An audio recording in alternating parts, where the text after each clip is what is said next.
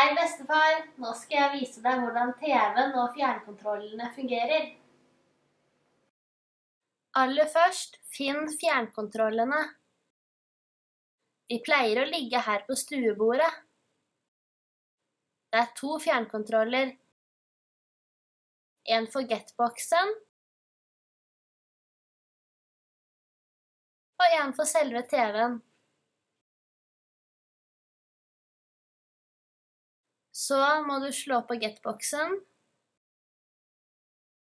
Dette er get-boksen. Nå lyser det rødt. Det betyr at den er avslått. For å slå på get-boksen, pek med fjernkontrollen, og trykk på denne knappen en gang.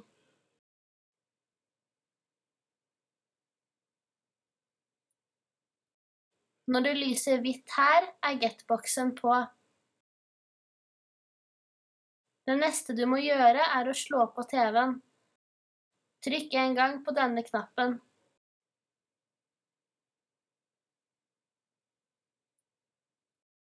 Nå ser du at det skjer noe på skjermen.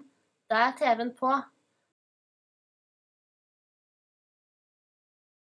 For å velge kanal kan du bruke disse tallene. For å se på NRK, trykk på 1.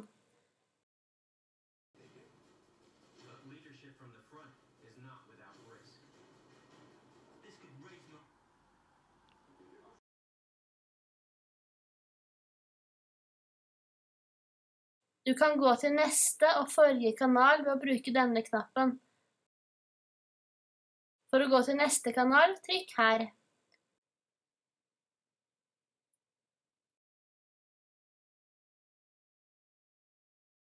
For å gå til forrige kanal, trykk her.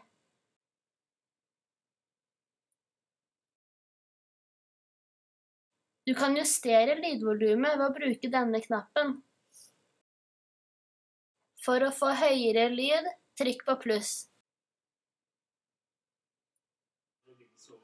Hver gang du trykker på pluss, blir lyden høyere.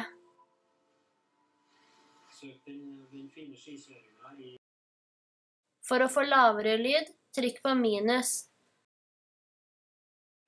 Hver gang du trykker på minus, blir lyden lavere.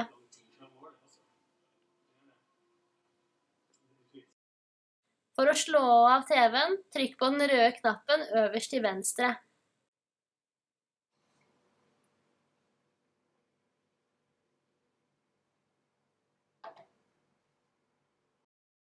For å slå av getboxen, trykk på denne knappen en gang.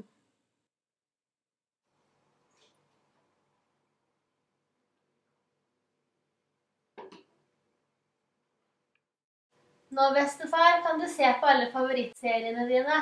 Vi ses snart.